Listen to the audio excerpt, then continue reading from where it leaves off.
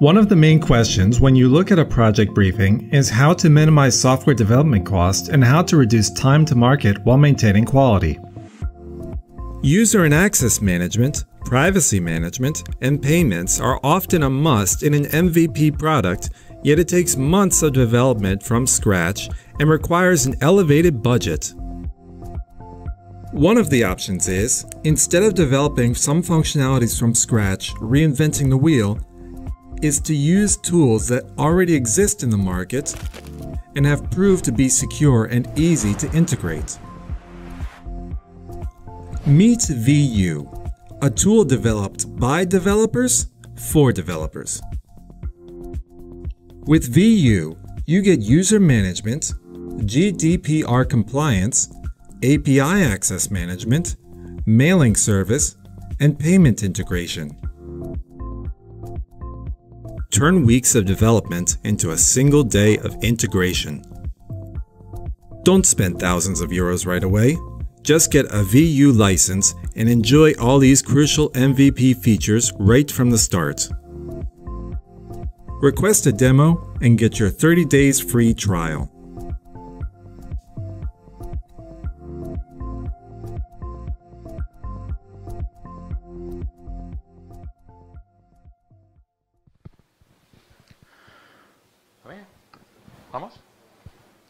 Bueno, buenas tardes. Uh, mi nombre es Ramón Felip, soy el PO de BU.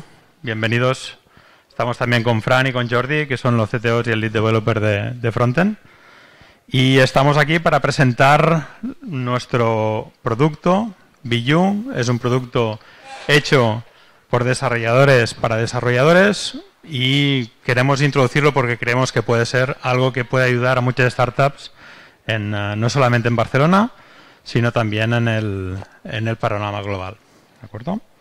Para explicar Vue, de todas maneras, uh, quiero empezar, bueno, uh, acerca de esta presentación, lo que empezaremos dando un poco de contexto, introducción de Vue, luego seguiremos con viéndolo en directo y finalmente haremos unas cuantas reflexiones uh, acerca de lo que puede ayudar Vue a cualquier empresa de, IT.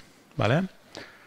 Para explicar Vue necesitamos hablar primero de Appium Hub, que es nuestra empresa matriz.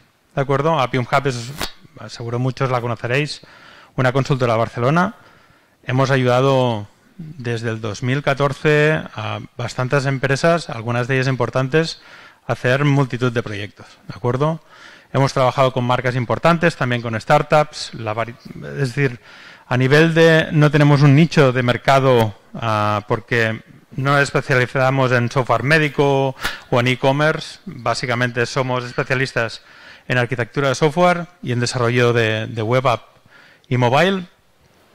Y hemos hecho multitud de, productos muy diferentes. ¿De acuerdo? Hemos hecho una aplicación que tenía retos deportivos. Uh, cuando estuvimos en pandemia, la aplicación que se usó para gestionar los test de antígenos por parte de Primavera Sound la, la hicimos nosotros. Estamos en Deseos Mujer, trabajamos para Nestlé, para Privalia, para Mango. Es decir, los proyectos que tenemos son muy, muy diferentes. Y de estos 15 proyectos pueden verse a nivel de negocio completamente diferentes, pero realmente no lo son tanto. ¿De acuerdo? Y esto es la semilla y la motivación principal de lo que es Billo. La mayoría de estos proyectos, si no todos, tienen una serie de características que son comunes. Un compliance con GDPR, una gestión de usuarios utilizando OAuth y utilizando uh, OpenID, login y registro con uh, cuentas sociales, métodos de pago, sistemas de mailing, sistemas de notificaciones push, etc. Y en cada uno de los proyectos que hemos visto antes, sino en todos, en cada uno de estos hemos tenido que desarrollar estas partes desde cero. ¿De acuerdo? Son proyectos que obviamente necesitan todos estos módulos para estar en el mercado uh, y nosotros lo que no podemos hacer uh, de manera directa es reaprovechar lo, las especificaciones de un cliente para otros. ¿De acuerdo? Con la cual cosa, cada cliente que nos ha venido a ver ha tenido que invertir una serie de tiempo y una serie de dinero en desarrollar los módulos que comentábamos aquí. ¿De acuerdo? Entonces, la pregunta es, ¿qué pasa si todo esto lo tuviésemos de saque y lo, en vez de invertir un mes o un mes y medio implementándolo, lo pudiésemos implementar en una mañana? Esta fue la idea que eh, motivó a Billu. ¿De acuerdo? Nosotros lo que queremos es que nuestro cliente, que cualquier empresa, se preocupe solamente de su valor añadido, de lo que da valor a su negocio. Si alguien se dedica a hacer retos deportivos, que se preocupe de dar, los de dar esos retos deportivos a sus clientes de la mejor manera. Si alguien se ocupa de gestionar una plataforma de bidding para proveedores, que haga lo mismo.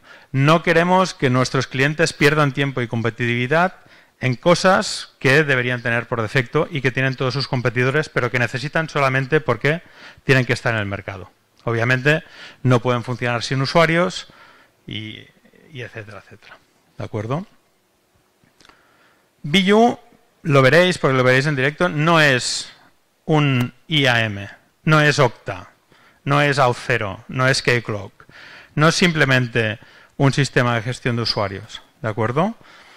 No, el foco de Billu ha sido siempre que la inversión en tiempo y en directo y en dinero por parte de nuestros integradores sea mínima, con la cual cosa los SDKs son muy sencillos, no tiene SDKs complejos.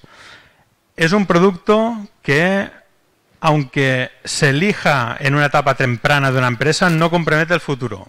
¿De acuerdo? Nosotros queremos que nuestros clientes usen Billu porque les funciona, no porque tienen una dependencia para usarlo. ¿De acuerdo? Y tampoco queremos que sea un producto que tiene un modelo de precios basado en el volumen de los usuarios.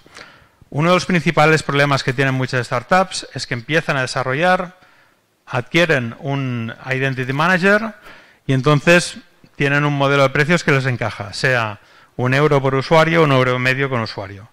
Cuando esa startup tiene éxito y tiene un millón de usuarios, tiene unos costes fijos de varios miles de euros por usuario. ¿De acuerdo? Y es precisamente lo que no queremos ah, tener. ¿Vale? Nosotros, Billu es, como veréis a continuación, un producto que se instala a vuestro cloud. ¿De acuerdo? On-premise, sabiendo que on-premise no es en un servidor físico, sino en vuestra propia infra. ¿De acuerdo? Es un agregador de servicios, es decir, el objetivo de Billu es que nuestros clientes no pierdan tiempo desarrollando cosas que ya existen, ¿de acuerdo? Y el foco de Billu es acelerar lo máximo posible, posible el time to market para que nuestros clientes sean totalmente competitivos y no pierdan tiempo ni clientes uh, en etapas tempranas. Uh, ¿cómo se puede ver? Y ahora se verá mucho más claro. Al final es un servicio de backend con una base de datos distribuida por Docker. Esto instala un backoffice para el manejo de las instancias, las aplicaciones y los usuarios. Tiene también un, un, un CLI, Command Line Interface, para poder desarrollar de manera rápida y tiene varios SDKs. Ahora mismo en JavaScript, en React, en Android y en iOS. Con una sola instancia de Billu, con una licencia de Billu, podemos gestionar múltiples aplicaciones, ¿vale? Cada, cada aplicación que tengamos dentro de la instancia puede tener un perfil de usuario totalmente personalizado y cada, cada aplicación tiene un sistema de roles independiente y una integración realmente sencilla. ¿De acuerdo? Y ahora creo que es, antes de hablar de más detalles, les voy a pasar el testigo tanto a Fran como a Jordi para que lo podáis ver en directo.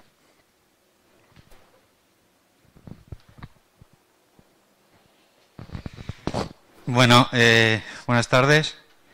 Mi nombre, mi nombre es Fran. Eh, a los teclados Jordi Domenech, a la voz Fran. ¿vale?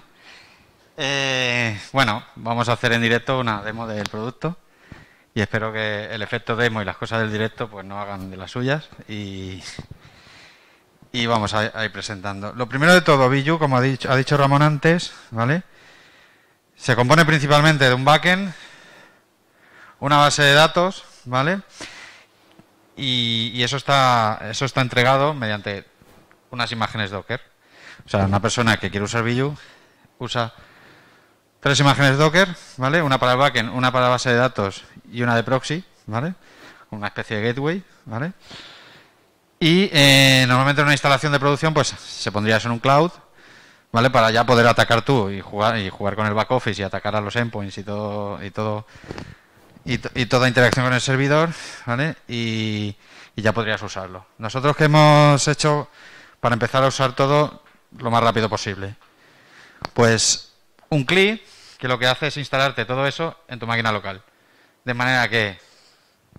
¿Se me oye? Sí. Es que con la mascarilla está todo rato... Clac, clac, clac. Bueno, eh, en tu máquina local. De manera que tú, eh, con el clic, pues si conocéis Kubernetes, pues un poco de paradigma sería Minikube, ¿vale? Eh, no sé a qué nivel técnico hablar, ¿vale? No sé si, si... Pero bueno, si no se entiende algo, pues ya me preguntaréis, ¿vale? Y bueno, entonces eh, el CLI lo primero que te puede hacer, ¿vale? Es integrarte esas imágenes Docker, orquestártelas y, y levantártelas en tu máquina local de manera que inmediatamente puedas usarlo, ¿vale? Entonces, ¿qué vamos a hacer? Pues lo que vamos a hacer es, vamos a crear una aplicación React desde cero, ¿vale?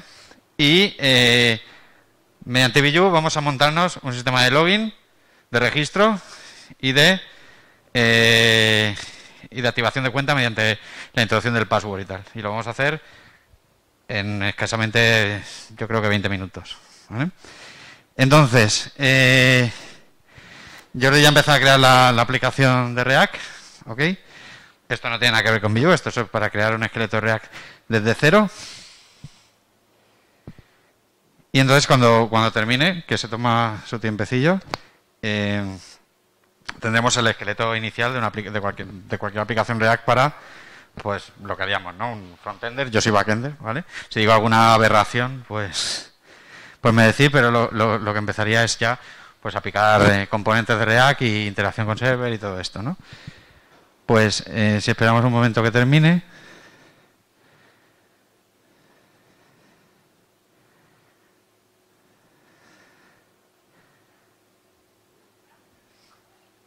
No te doy la espalda. ¿Vale? Lo tenemos aquí, ¿vale? Y le hemos llamado a la aplicación Demo. Tenemos pues el típico package JSON, etcétera, etcétera, etcétera. Y cuando, y cuando le damos a estar, pues sale, pues esto, pues si alguien es front, pues lo habrá visto unas cuantas, ¿vale? La típica, el típico átomo de React. Vale, es una aplicación que por defecto está corriendo en el puerto 3000. ¿Vale? Pues vamos a empezar a montar un login. ¿Qué, necesitamos? Usar Vue, si queremos, ¿no? Pues vamos a usar Vue porque es una demo de Vue. Pues entonces eh, cogemos el clip, ¿vale? Y lo que hacemos, eh, lo que hacemos es instalarlo. ¿Eh? Sí. Sí, ahora. instalamos el, el SDK de Vue y corremos el clic.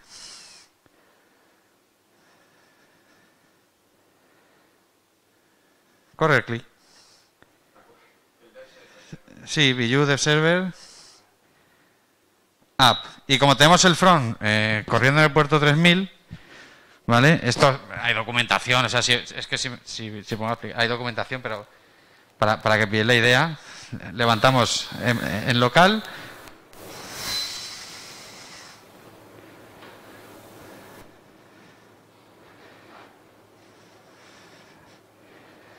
y lo corremos y decimos, levántate del server y ojo que tenemos un front en el puerto 3000. Esto es lo que hace. Y como es la primera vez, pues lo primero que te va a pedir, como en cualquier software que se pretende vender de alguna manera, es cuál es la licencia. ¿Vale? Pues dale la licencia. Tenemos aquí la chuleta con todo preparado. Te va pidiendo secret, el email del superuser del back office para que tú configures pues cómo van a ser tus usuarios, cómo van a ser tu, aplicación, ahora lo veremos. El password Y tiene una integración con SendGrid para, el envío de todos los mails, que ya, ya integra con SendGrid automáticamente. Pues tú te has tenido que crear una cuenta de SendGrid, tendrás una aquí, pues dámela aquí y ya usaré yo SendGrid. ¿vale? Entonces se levanta y ya tenemos el backend. ¿Vale? Y esto automáticamente, ahora lo que, lo que tenemos es ya el backoffice funcionando en local por HTTPS, que es como debería funcionar en producción, pues ya lo tenemos con un dominio asignado a tu local por HTTPS funcionando y ya podemos entrar a backoffice y empezar a configurar cómo queremos que sean pues, los usuarios de nuestra aplicación, cuántas aplicaciones queremos meter, etcétera, etcétera. Entonces, le das al, al login. Vale, tenemos aquí una aplicación que se llama demo. Podríamos tener otra aplicación más, cada una para los verticales que queramos tener, ¿vale? Y lo importante es que los usuarios podrían, con una única cuenta, podrían entrar, si así, si así se quiere, en todas las aplicaciones que tengáis. Como si fuera una especie de single sign-on. ¿vale? Con una sola cuenta podrías entrar en todas las aplicaciones. Nosotros no vamos a empezar a crear eh, aplicaciones distintas a las que los llamamos en el lenguaje Vue, los llamamos tenants. Tenemos aquí una de demo que voy a enseñar un poco qué se puede y qué no se puede hacer. ¿vale? Primero, unas cuánta gente tiene registrada en tu aplicación, cuántos registros en las últimas 24 horas. Y ahora cuando entramos en mi tenant tenemos la información del tenant, el, email de administrador, temas de sesiones, de token de expiración de seguridad. Tú puedes tener cada cuánto quieres renovar los tokens de seguridad, son temas más técnicos, ¿vale? Todo esto está en, documentación explicado. Eh, SendGrid, donde puedes por ejemplo, cuando tú activas una cuenta, pues lo primero que te envían es un email de activación. Activa tu cuenta por correo. Pues aquí puedes, eh, si le das, Jordi, aquí puedes, eh, de las plantillas disponibles, que para la demo tenemos dos, pues eh, seleccionar la que quieras y cuando quieres un reset password, pues también puedes seleccionar la que quieras. ¿Y a qué URL de tu frontend se va a ir cuando eh, cuando haya una plantilla y te la envíen por email y aprietes el botón de activar cuenta o activar password a qué URL de tu front para meter el password que toque se va a ir. Lo puedes configurar ahí también. La parte más importante, los campos. Cada usuario de, de tus tenants, ¿vale? Cada usuario que entra, pues tú le puedes definir los campos que quieres tener. ¿De qué tipo son? Si son obligatorios, si son de solo lectura, eh, que solo los das valor una vez y ya no los puedes cambiar, etcétera, etcétera, etcétera. Tú puedes crear aquí tantos campos como quieras, ¿vale? Pon por ahí, o no, bueno, a lo que, a lo que considere oportuno, eh, tanto da, ¿vale? Es un poco libre todo esto, ya veremos por dónde vamos. Sí, son los, son los campos, sí, los campos que va a tener tu usuario cuando se registra, por ejemplo, los que te, los que te puede pedir cuando quieres completar el perfil, etcétera, etcétera.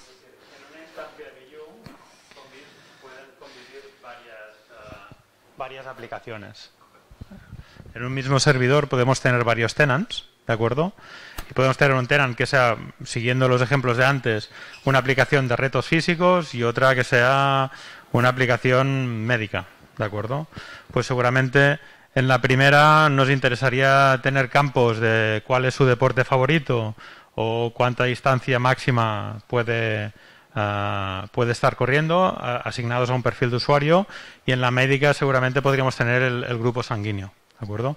nos da libertad cuando hemos definido una serie de tenants para definir los campos que conforman el perfil de usuario de manera independiente. ¿De acuerdo? Lo único que se comparte ah, o lo único que comparten los usuarios a través de todos los tenants es el correo electrónico. El correo electrónico identifica a un usuario de manera única. ¿De acuerdo?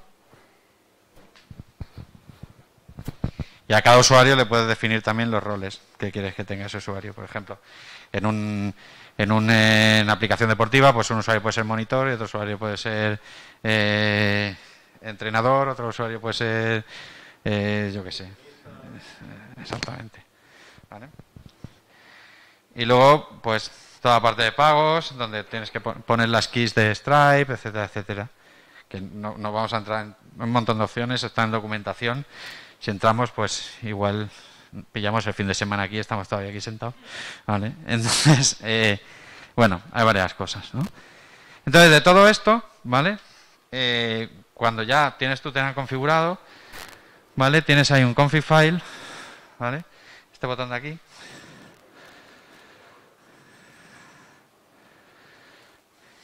Que te lo puedes descargar y ahí en un JSON tienes la configuración del tenant, ¿vale? Y esto lo dejamos aquí en, barbecho un poco para, dentro de un rato, ¿vale? Entonces, ahora sí, eh, supongamos que tenemos ya configurado como queremos todo este tenant, ¿vale? Ya decimos, bueno, pues ya tengo el tenant, ya sé cómo van a ser los usuarios, ya lo sé todo, me voy al front y me voy a marcar el, login, a ver cómo lo puedo hacer. Entonces, nos vamos a la parte front.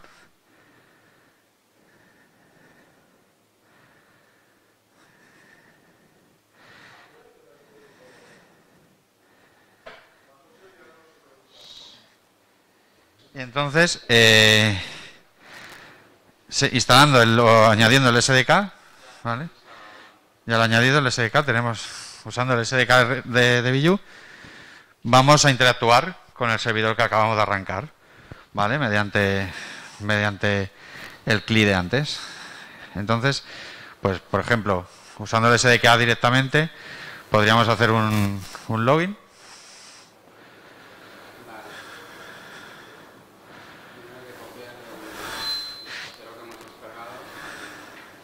Sí, copiamos el fichero que hemos descargado, este config.json, lo copiamos en el directorio src, por ejemplo. Y ahora nos vamos por, pues yo que sé, vete aquí al inicio y usando el SDK, pues hago una llamada al login para que vean cómo, cómo se usa.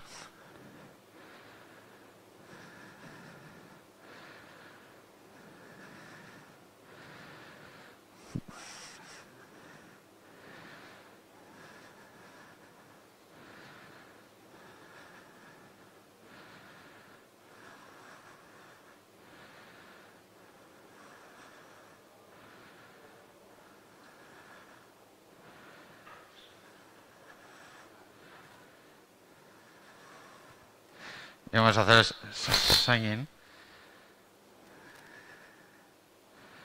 Ponemos un username. Pon, eh, eh, esto va a fallar.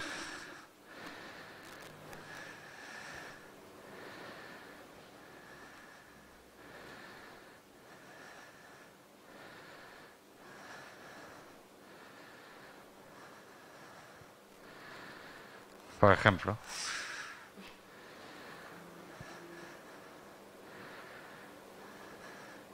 Eh, importante, cuando, has, has mapeado el, puerto 3000, tú aquí puedes usar el front con una URL segura que sería, ponla Jordi, https,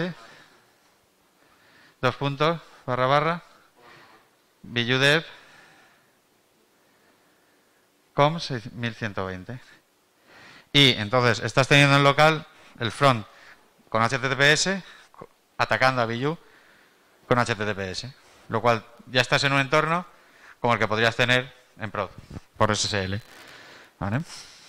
Y entonces, fijaos que el login que hemos hecho nos da un validation error. ¿Por qué nos da un validation error? Porque el username, el username que, hemos, que hemos puesto no tiene formato email, por ejemplo. Has puesto esto va a fallar, lo hemos puesto antes. Es decir, aquí lo que estamos haciendo ahora mismo es, estamos comprobando que el SDK BU se ha instalado correctamente y que está conectando con nuestro servicio.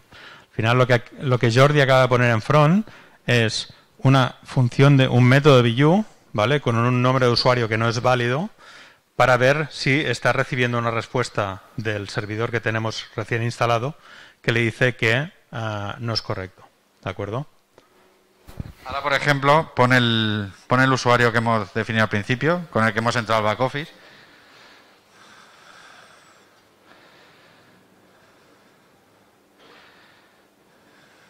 Y ahora eh, ejecuta.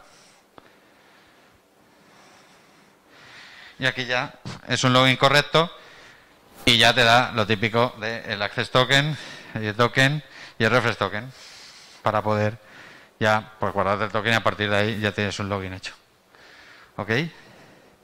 Y a partir de ahí pues te empiezas a montar, pues tú ya has llamado al, tú ya has llamado al, SDK, ya con una línea de código tienes un login hecho, pero dices, pues vaya Q3, ¿no? Porque al final sigue saliendo ahí el átomo, súper feo, etcétera, etcétera. Pues Vue tiene una utilidad más, que es un generador de componentes, ¿vale? Entonces, con una línea de comando, que es la que está poniendo Jordi ahora,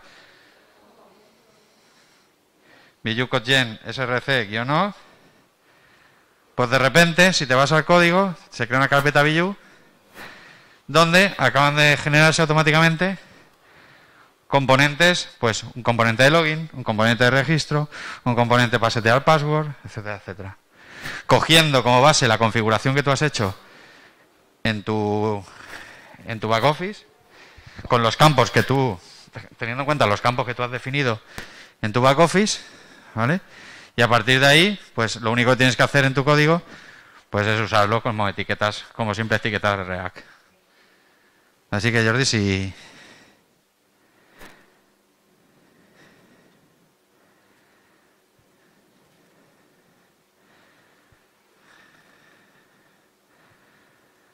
Y además el nombre se llama, con el nombre del tenant, el tenant se llamaba demo, pues la etiqueta generada, pues empiezan por el prefijo demo.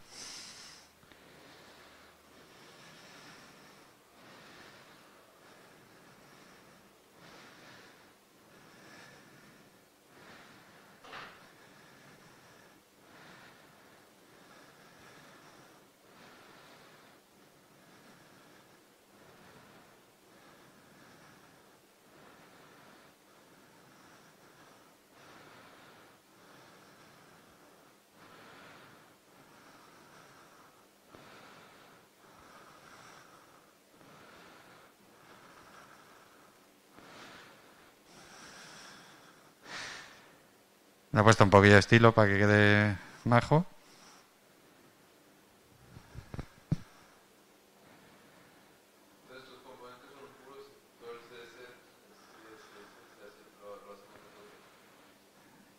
Te, te, da una propuesta por defecto, pero tú lo puedes personalizar como quieras.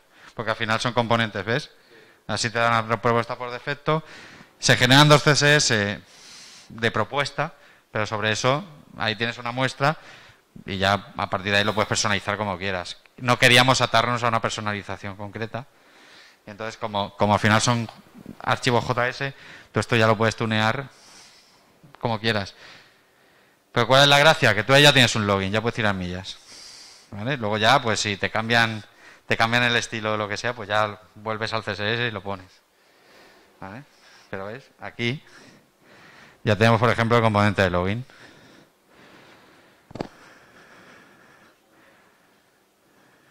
Y por ejemplo aquí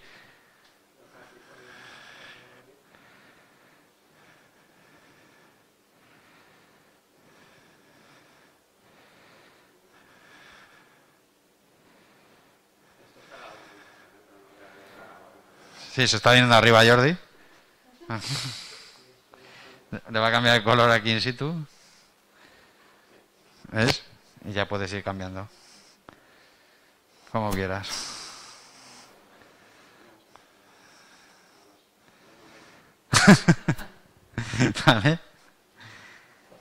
Con lo típico patrón, pues de sobrescribes el, estilo por defecto con el, con el que estás haciendo ahora. Cosas de, front, de. ¿Vale? Entonces, por ejemplo, pues, por ejemplo, al login, eh, vamos a enseñarle los eventos de esta etiqueta. Por ejemplo, los access.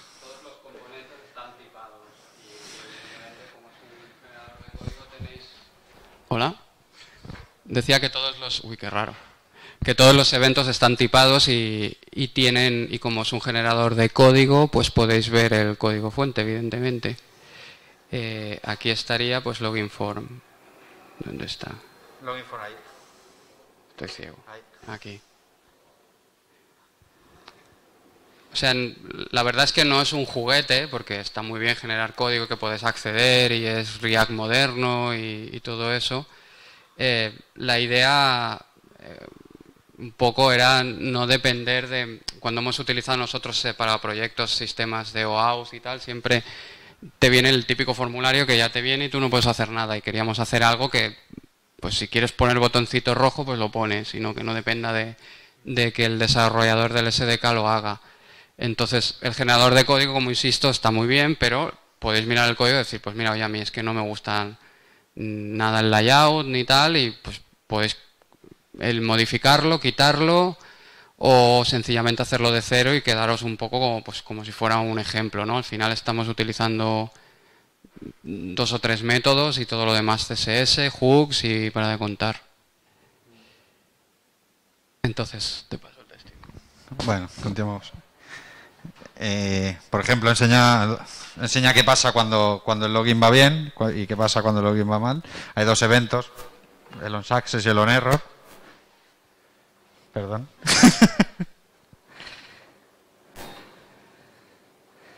y lo tendríamos, pero bueno, igual que pones un console, puedes poner un alert, puedes poner irte a otra pantalla, puedes, ¿cómo le llamáis? Un toast de estos, eh, lo, que, lo que veáis.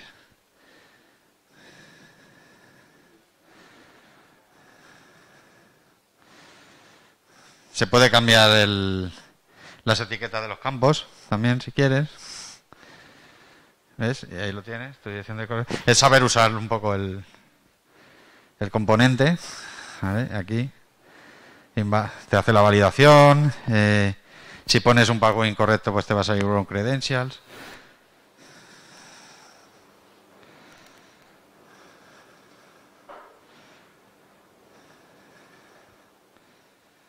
Chrome Credentials. Si pones el correcto, pues te va a volver, te va a salir el token. Y ahí lo tenéis de nuevo. Y por ejemplo, si queremos, hemos enseñado un poco el, login, eh, vamos a enseñar por ejemplo el registro. Pues fijaos.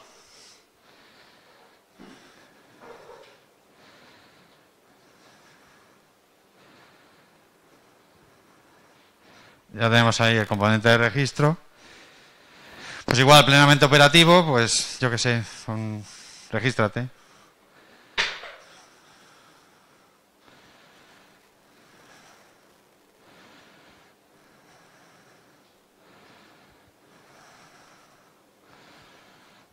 La vuelta a cambiar la label. No, pon, pon Pon el con Ayangel, bueno.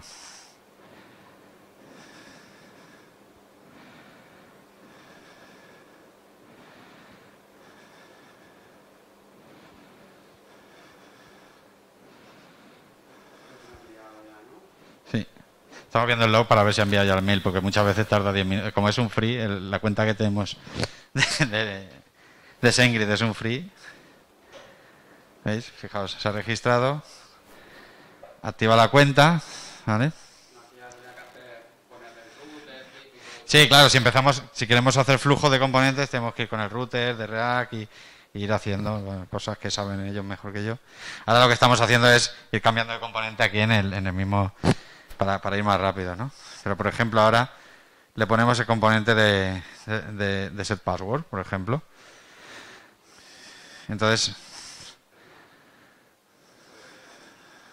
Si pinchamos, pues hemos cambiado el componente de, de set password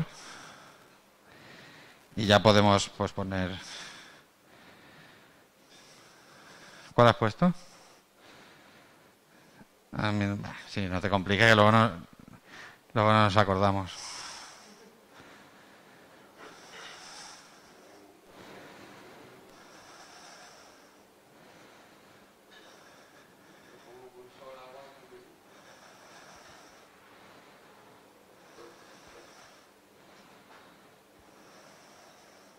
Ahí.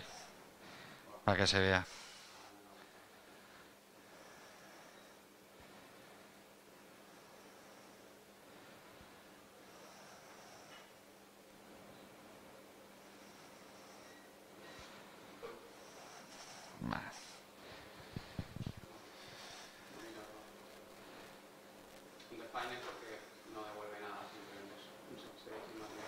Sí, devuelve y bueno, hemos, dado de alta hemos dado de alta, ha llegado un mail, hemos pulsado activar cuenta, nos ha llevado esta pantalla, hemos seteado el password y ahora en teoría, si volviéramos al componente de login y usáramos esta cuenta, pues no dejaría entrar. Al final el mensaje es, estamos como haciendo un flujo, cambiando los componentes en, la misma, en, el mismo archivo todo el rato, para no empezar con routers, instalar routers, empezar ahí a picar routers y estar dos horas. ¿Vale? Pero sería exactamente lo mismo. O sea, la idea un poco es, acabamos de hacer un login, un registro y una introducción de password con activación de cuenta por email. Eh, no sé cuándo empezó a hablar, pero ha sido... Y ahí tenéis el access token y tal. ¿Vale? Y bueno, vamos a cortar porque si no venimos arriba empezamos a...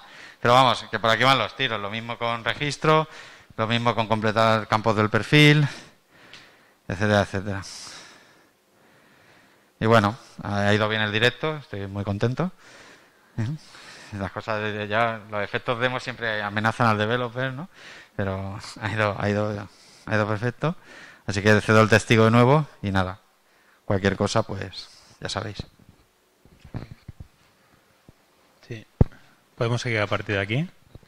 Lo importante y un poco relacionado con tu pregunta es que lo que nos, nos comía un poco la cabeza es cómo podemos dar algo que sea ágil, en el sentido de que por el final a lo que estamos apuntando es a un día de desarrollo para tener un esqueleto de, aplicación con sistema de usuarios, pagos, eh, integración con SendGrid eh, y lo queríamos en un día entonces, ¿cómo hacemos esto para que sea rápido, pero al mismo tiempo no ligue a nuestros clientes? Es decir, habrá, un, habrá una aplicación que requiera un registro de usuario que será un único formulario. Habrá otras que tendrán cuatro pasos, ¿de acuerdo? Y lo que al final desarrollaron Fran y Jordi fue este sistema de que si tú te quieres aprovechar del generador de componentes y que te venga tiro hecho y cambiando tres o cuatro CSS para ponerlo con tu juego de colores, lo puedes tener en una mañana y en una segunda iteración, si quieres trabajarlo un poquito más, ¿de acuerdo? Ah, pues puedas ir ah, haciendo uso de Vue, pero tengas esa flexibilidad, tengas acceso al código que hay debajo, etcétera, etcétera. ¿De acuerdo? Ah, sí, no, me he dejado el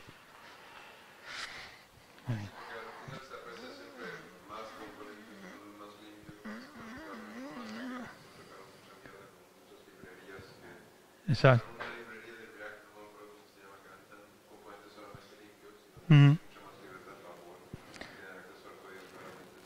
Exacto.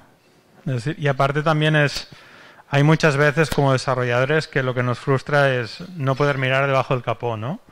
Eh, dices, bueno, ¿qué hay ahí? ¿Cómo funciona? ¿no? Y, y, bueno, en nuestro caso no. De hecho, nos planteamos en un futuro muy próximo los SKs de cliente tenerlos como open source y que la comunidad pueda contribuir y pueda construir encima de ello. ¿De acuerdo? Entonces, ¿qué tiene la versión 1.0? Ah, bueno, es una versión multiplataforma, ¿de acuerdo? Es decir, se puede utilizar tanto en Mac como en Windows como en Linux. Tiene, a nivel de API, tiene SDKs de cliente para JavaScript, React, para Android y para iOS y también un API server to server que permite la, la securización de backend de terceros. Es decir, BU y los tokens de BU pueden ser utilizados para hacer requests seguras al backend de cliente, al que tiene el valor de negocio. ¿De acuerdo? A nivel de gestión de usuarios y de tenants, una licencia de BU nos da tenants ilimitados y usuarios ilimitados para cada uno de los tenants. ¿De acuerdo? Un sistema de perfiles y de roles independientes para cada uno de los tenants que decidamos instalar. Y finalmente, a nivel de los SDKs de cliente y la customización, lo acabáis de ver en React. ¿De acuerdo? Tenemos unos temas base, nos aprovechamos de los CSS que vienen de saco, pero es totalmente customizable. ¿De acuerdo? A nivel más de funcionalidades, que incluye la versión 1.0, una implementación de OAuth 2 y OpenID que también permite tanto el registro y el, y el login con usuario y password de toda la vida, con email y password, como el uso de cuentas sociales, Google, Facebook y Apple. ¿De acuerdo? A nivel de compliance con GDPR, la base de datos de BU está auditada, es decir, tiene audit tables, que tiene todo el registro de acceso, quién ha entrado, y BU, el back office, nos da la, posibilidad de ejercer el derecho al olvido y el derecho a recuperación de la información para cada uno de los usuarios en cada uno de los tenants. ¿De acuerdo? Integración con mailing. Uh, en esta versión está una integración con SendGrid que se puede utilizar para, junto con sus plantillas para enviar mails de activación, de reset de password. ¿De acuerdo? En un futuro próximo tendremos SendGrid más abiertamente para utilizar mailings en campañas de marketing, etcétera. Y finalmente, a nivel de integración con pagos, tenemos integración con Stripe, podemos utilizar one-time payment, suscripciones. Tenemos una parte del back office donde podemos ver todas las transacciones y lo que es muy importante es que tanto en, a nivel de base de datos como a nivel de pagos no pretendemos apropiarnos y ocultar toda la integración con Stripe. Es decir, lo que hace BU es recibe los hooks de Stripe, uh, hace una persistencia en base de datos de la información de las transacciones, pero tenemos la, opción de hacer un forward a la URL que, de, que, que, decían los usuarios. Es decir, si alguien tiene especial interés en juntar la información de Stripe en un módulo de facturación en un tercer, no nos adueñamos y tapamos toda la información de integraciones, sino que nos quedamos, persistimos y hacemos un forward. Somos totalmente transparentes. A nivel de base de datos y a nivel de información del usuario, importante, la información no es nuestra, es de nuestros clientes. La tenemos en un Docker donde se puede acceder a la información, no tenemos un sistema oscuro ni esquemas oscuros que no nos permitan migraciones en un futuro, es decir, queremos que la gente use Vue porque le gusta Vue, ¿vale? No porque es prisionero de Vue. Y este approach le hemos hecho a nivel de todo el producto. Sí, Ethan. De hecho, tú podrías coger, pasar totalmente del Docker de base de datos de Vue, configurar el backend de Vue para que apunte a una máquina tuya de RDS y a partir de ahí se crean todo el esquema de Vue en, la máquina en cloud donde tú quieras. Simplemente lo que tienes que hacer es en la configuración del backend, en los environment variables, poner la cadena de conexión a otro sitio y ya está. O sea, no es el Docker de Vue es un getting started que damos, que es perfectamente funcional, pero que ya viene con el audit y ya viene con diferentes perfiles de usuarios creados, cada uno con sus privilegios. Uno para migraciones, otro para desarrollo, cumpliendo un poco con, con, con la guía de GDPR, ¿no? En cuanto a base de datos. Me hago con mascarilla, eh, tío.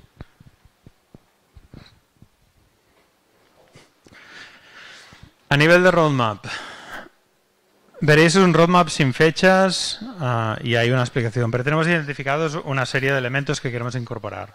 Nuevos métodos de pago y in-app billing, ¿vale? In-app billing creemos que es crítico porque básicamente es un must para que cualquier aplicación o para que la mayoría de aplicaciones estén en, market, ¿de acuerdo? Tenemos notificaciones push y integración más amplia con SendGrid, uh, MailChimp. ¿Y por qué no tiene fechas y por qué no lo tenemos muy definido? Uh, básicamente porque queremos oír a nuestros clientes, ¿vale? Uh, hemos ido confeccionando el producto a partir de necesidades que tienen nuestros clientes y en la etapa en que estamos, especialmente um, ahora que somos capaces de gestionar a los clientes de una manera muy personalizada, queremos oír cuáles son las necesidades y priorizar en base a ello, ¿de acuerdo? Es decir, si los primeros clientes tienen una necesidad imperiosa de push notifications, iremos a por ello. Si es por uh, in-app billing, uh, haremos, uh, tiraremos por ahí.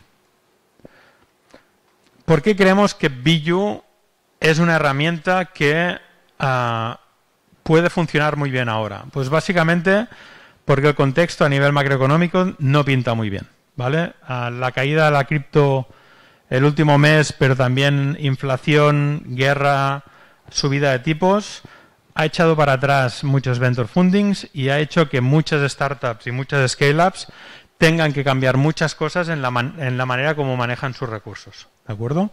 En ese sentido, ya hay bastantes voces donde se está abogando hacia reducir las dos bases de código nativo a un, a un entorno de base de código único, sea con Flutter, sea con Xamarin, sea con React Native, ¿de acuerdo? Porque básicamente reduce a la mitad del coste de los ingenieros. También se está abogando mucho para usar herramientas de Identity Management, ¿de acuerdo? Creemos que en ese sentido, como veremos a continuación, BU puede tener ah, mucha importancia, ¿de acuerdo? Precio de BU, 200 euros al mes por licencia. Tenants ilimitados, usuarios ilimitados. Obviamente, cuando vayamos sacando más módulos, tendrán precios adicionales, ¿de acuerdo?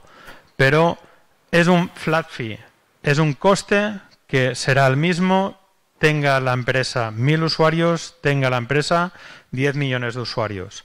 No es opta, ¿de acuerdo? Para toda la vida. ¿ok? Es decir, lo único que puede incrementar este precio es si, por ejemplo, nosotros sacamos un módulo de push notifications, quizás vale 100 euros, 150 más. nuestra política de precios es poner un flat fee al módulo. ¿De acuerdo? No, no queremos que un aumento, es decir, el éxito de nuestros clientes no puede comprometer su salud económica, porque al final también sería injusto. Nosotros damos un Docker, la infra la paga el cliente. Yo no tengo billo en cloud. Cuando esto pasa, sería totalmente injusto que yo te penalizara por tener más volumen de usuarios cuando tú estás pagando más por infra y encima yo te hago pagar más por el mismo software. ¿De acuerdo? O sea que el, precio está garantizado de por vida. ¿De acuerdo? ¿Por qué creemos que puede funcionar? Simplemente lo que acabamos de ver a nivel de features de Vue, es decir, desarrollar un esqueleto de aplicación con una buena implementación de OAuth 2 ah, que permita registro manual, ah, registro con cuentas sociales, una integración con, Stripe, una construcción de un back office y tener un esqueleto de aplicación montada ready para que nosotros podamos poner realmente el core business, estimamos y por nuestra experiencia es un proceso que puede tardar entre uno o dos meses con un equipo de desarrollo completo. Un backend, un frontend, un Android y un iOS. ¿De acuerdo? Esto a precios de mercado de hoy puede salir entre 10 y 2.000 euros. Perdón, 10 y 20.000 euros.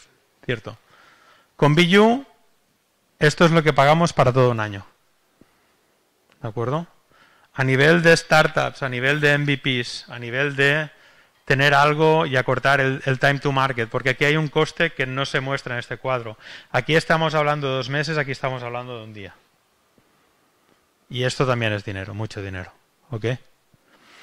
¿Qué pasa en el quinto año? Y nos vamos a comparar ahora con lo que decimos antes de una solución de, Identity Management en Cloud. BU, si usamos lo mismo, seguiremos pagando lo mismo al mes. Cuando estamos con una solución que nos pide un euro por usuario y tengo 10 millones de usuarios, estoy pagando, bueno, 10 millones de euros no, porque nos darían un descuento por volumen seguramente, pero estaría pagando un pelín más que 200 euros seguro.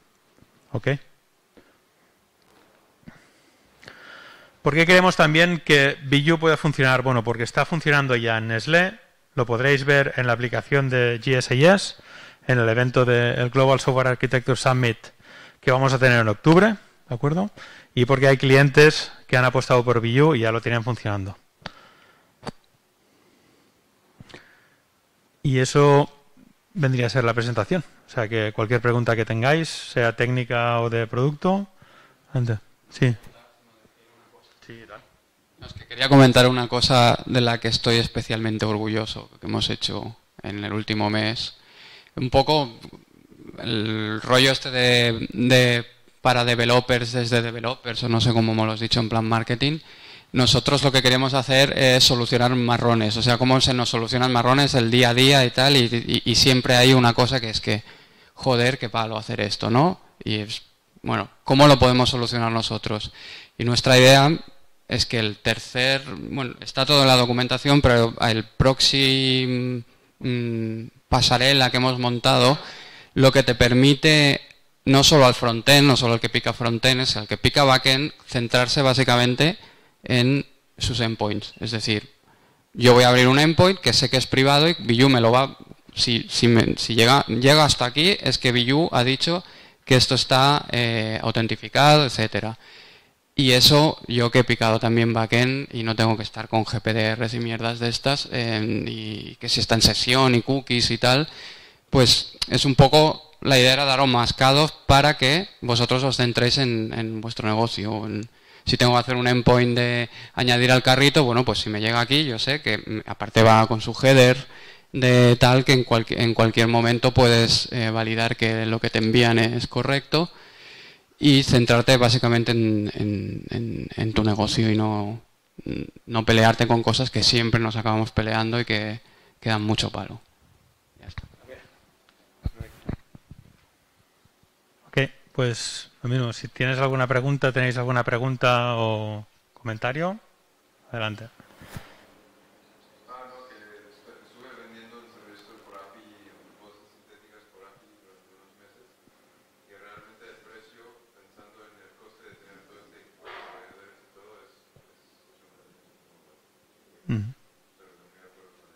Ok. Perfecto, gracias. Sí, al final, eh, es decir, también ha sido por experiencia en Appium y, tener, hemos tenido, voy a enrollarme un poco, es decir, la idea de hacer Vue vino porque tuvimos un cliente que se quiso deshacer de un proveedor demasiado caro y poner Keycloak. Keycloak es un sistema de gestión de usuarios gratis de Mozilla, ¿de acuerdo? Solo gestiona usuarios. Y implementamos Keycloak y fue un dolor de muelas. Es decir, problemas con la documentación, métodos con 10 parámetros, era absolutamente infumable. Y al final, una de, una de las cosas que nos empujó a hacer Vue fue un podemos hacerlo mejor.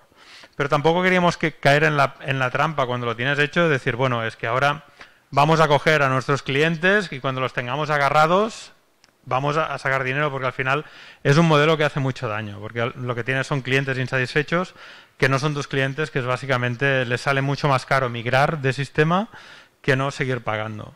Y lo que pretendíamos era dar un servicio, vender muchas instancias de Vue, pero tener clientes contentos.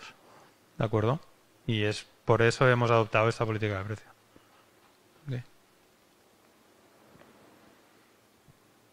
¿Algo más? Pues muchas gracias y esperemos que os guste. Si queréis probarlo, queréis una licencia gratis ah, durante 30 días, creo que es, ah, hablad con nosotros porque la verdad es que vale mucho la pena. ¿De acuerdo? Y está hecho con mucho mimo. ¿De acuerdo? Gracias.